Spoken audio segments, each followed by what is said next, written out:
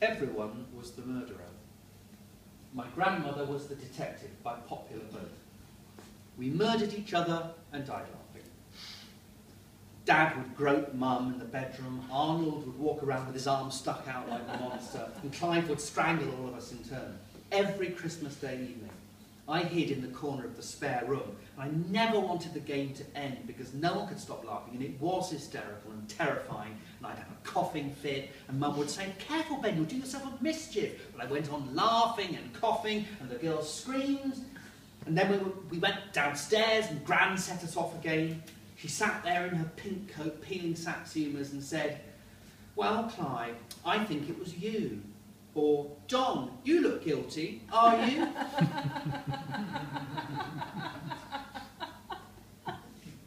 Golf has nothing to recommend it at all. I want someone to go round whipping the gloves out of their back pockets. I can't fucking stand those gloves.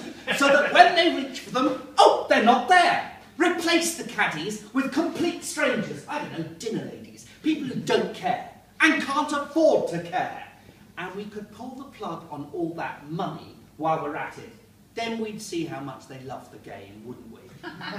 Get rid of the man from Motorola with the huge cheque and leave the trophy. The winner gets the trinket and nothing else. Here's your trophy, no money, no expenses, nothing, goodbye.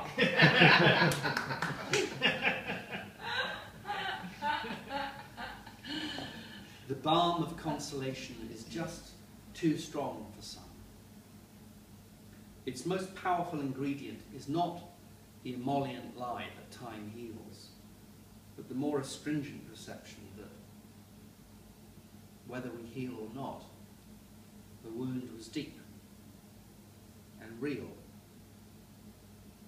and ours.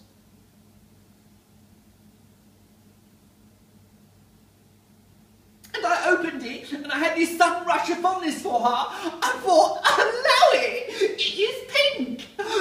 Don't know. Seriously, it was the colour of my bedroom at home. Yeah. Home. You put that thing straight in my head. I'm not joking. You put that thing straight in my head. You are dangerous, you know.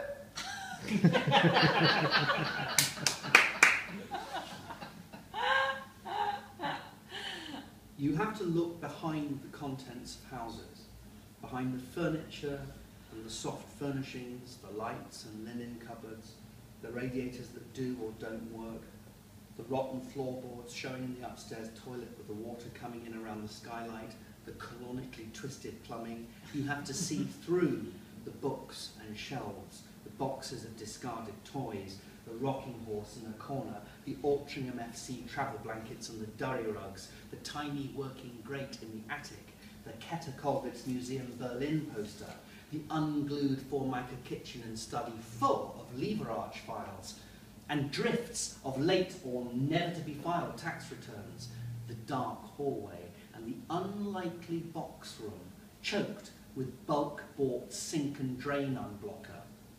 You must penetrate all of this drift and dreck to get to the soul of the building, to what it is thinking and saying in many voices, the voices of everyone who has ever lived or died or stayed there, all of whom go on talking, talking, talking, talking after they've moved on with a sort of calm but intangible insistence, like the sound of a radio being reasonable in an empty room.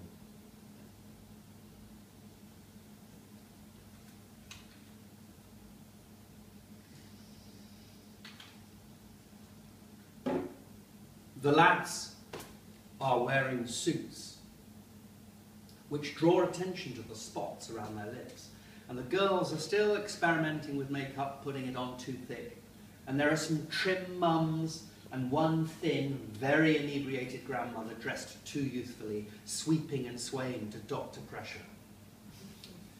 White ties with big knots go with black shirts, the lads have decided and some tentative carpet boogie is the necessary preliminary to joining the two or three brave girls already on the postage stamp sized dance floor, from which the defiant grandmother has just retired in a fit of weeping expectoration.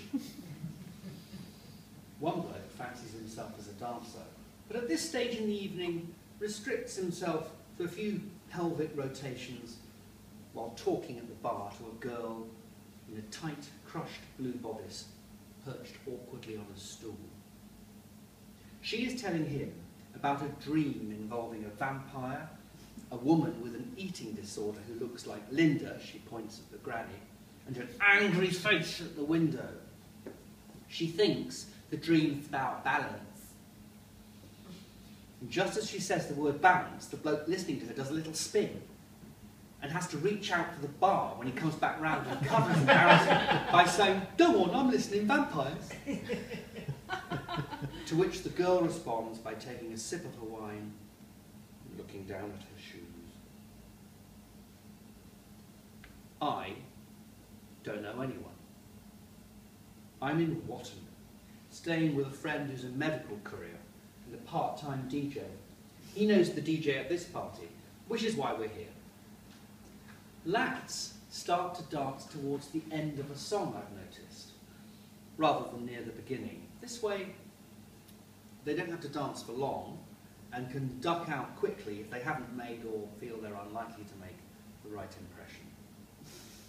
Certain songs and singers get blokes going. Justin Timberlake, for instance, because he's bringing sexy back, but not to Norfolk, so no competition. For similar reasons, a good gay dancer is an excellent investment. He can be guaranteed to get people to focus their attention on the dance floor. No one wants to be like him, he's too good, too gay, but while he holds everyone's attention, the more self-conscious majority of the blokes can join him and the girls in the safe knowledge that their own moves will be less obvious, less open to scrutiny, and therefore more alluring. the semi-professional gay dance teacher is an encouraging distraction, in other words. And when he's done his 40 minutes, he can fuck off, can't he? And hang around the sports centre corridor while his medical courier friend buys everyone drinks.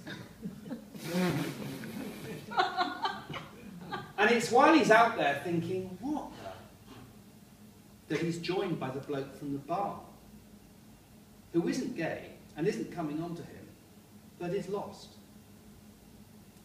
They, we, have a very ordinary, quite friendly conversation about nothing. Gary's birthday, how I know where's, where I learned to dance. And it's while we're doing this that I realise I've gone and put him out of a job. He was going to be the one to get everyone dancing mm-hmm. and he wouldn't have been quite as gaily good as me, and now he's missed out.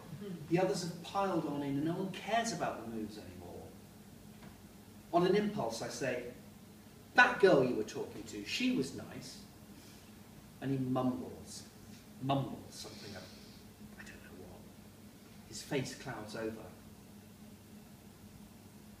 Then he regains his confidence and he tells me that he's just started at Travis Perkins down the road. He works in the tool hire office. She, the girl, is four years older, and she's got her eyes on the boss all right, fair play to her. What boss?